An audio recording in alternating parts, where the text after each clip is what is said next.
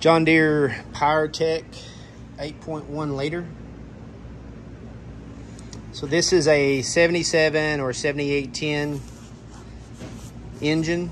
It is the series that has the square or the regular size injection pump.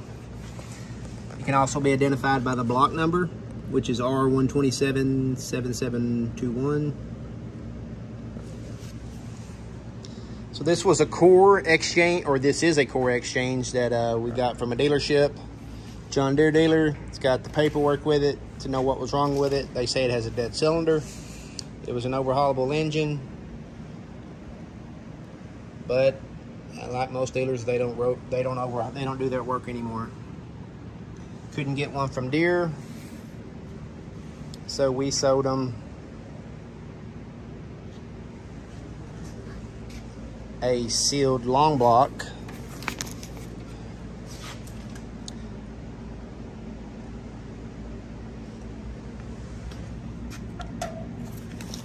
So if we can help you out, um, you want to buy maybe a used short block, buy used block.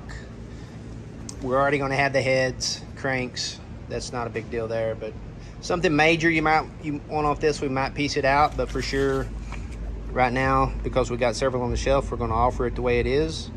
If we can help you out, let us know.